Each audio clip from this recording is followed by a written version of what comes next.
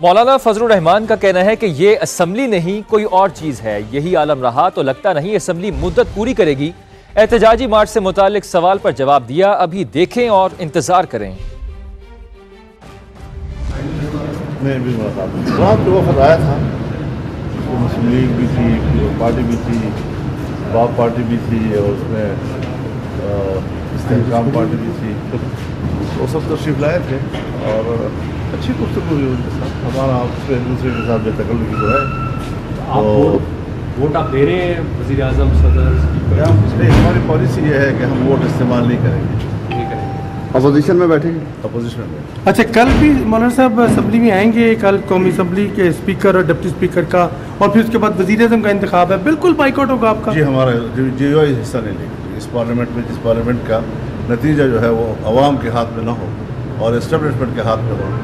उस ऐवान में हमें कोई हक नहीं है कि हम दूसरी कार्रवाई नहीं सकते तो मौलाना साहब मजबूरियाँ क्या हैं? क्यों इन हुकूमती इतिहाद में नहीं आप हिस्सा ले रहे हैं? क्योंकि आपके तो पुराने दोस्त भी हैं। हम इस इस ऐवान को आवाम का नुमाइंदा कम और इस्टबलिशमेंट का नुमाइंदा ज़्यादा असेंबली दोबारा आके कैसा लग रहा है?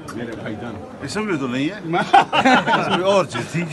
मौलाना साहब ये मौलाना साहब, कोई क्या पिघली कैसे करेंगे आप? एहतजाजी सियासत या एक, एक मरतबा फिर कोई आज़ादी मार्च। देखिए इंतज़ार करें बस। इंतज़ार करें। मौलाना साहब पाँच साल मुद्दत पूरी कर सकेगी?